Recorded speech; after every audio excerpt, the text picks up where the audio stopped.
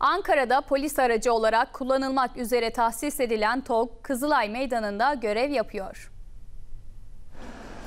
Türkiye'nin ilk yerli ve milli otomobili TOG Emniyet Genel Müdürlüğü tarafından da kullanılıyor. Ankara'da motosikletli Yunus ekiplerine tahsis edilen TOG Kızılay Meydanı'nda görev yapıyor. Başkentin simge noktalarından birinde görev yapan otomobil vatandaşlar tarafından yoğun ilgi görüyor. Bazı vatandaşlar TOG'un yanında fotoğraflarını çekiyor.